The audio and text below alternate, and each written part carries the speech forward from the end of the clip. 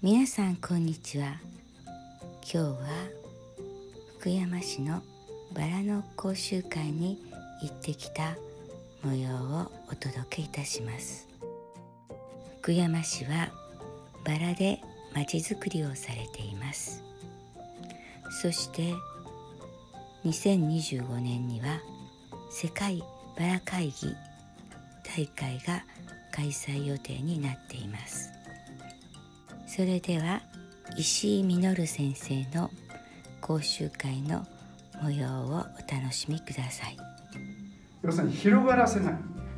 そこの葉っぱだけでも押さえて、まあ、どうしてもね風で飛んできたりいろんな要素で虫が運んできたりしますんで、えそういったことでちぎっていくというようなことで広がらせないことをちょっと考えますね。もうあのなるものだと思ってるんでそういう病気って来るものだと思うであの人間でもそうですけど風邪ひいたら子供のそばに連れて行っても風邪ひかん子供がおるんですね。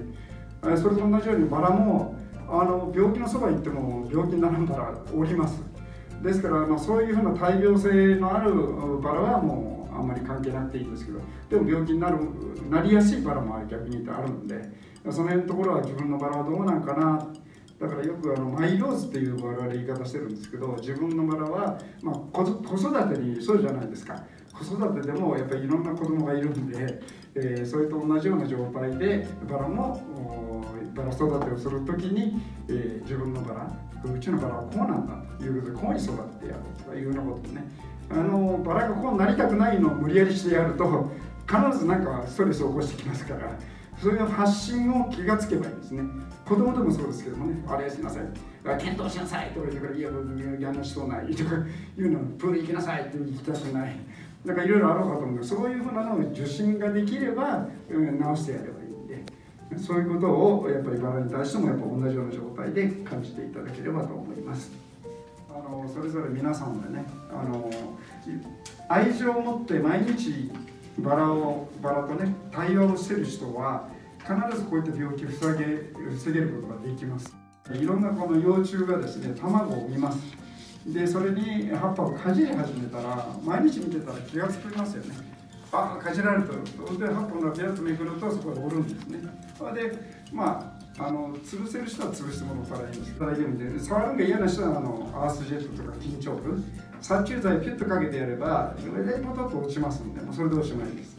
ですからそういうようなことであの毎日見といてて葉っぱをかじるということはさっきも言った葉っぱがなくなることですけどね。葉っぱがなくなったら弱っていきますので、えー、極力葉っぱを取るためのそういった病気それから虫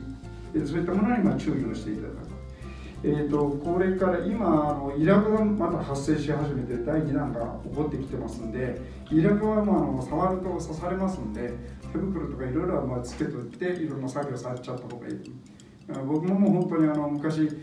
あのそれこそ剪定書の手相とあげればってやろうって近くあ枝が刺さったんだあの時が刺さったんだなと思ったんです。で切りよったらあれ？思ったらこれぐらいでいる。でバラゾウムシなんかっていう5番目にあるやつなんかですね。えー、あバラゾウムシ。まあまあいいか。あのー、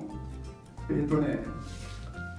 ある方がつるバラでいっぱいこう花をつけとっちゃっていつも毎毎年花がたくさんついてから綺麗だ喜びちゃったし今年全然花がなかったんよ。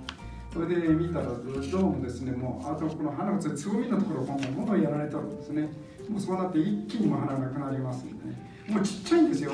もう物が本当じじっと見てたのわからん。で捕まえようと思ったらポンと飛んだらもうもう絶対捕まえられますよねわからないだけどそういったものを殺虫剤バーンとその辺かけてしまうとかですね。なんかいろいろ工夫してそれがまあバラに対する愛情ということになります。えーとまあ、病気もいろいろあります。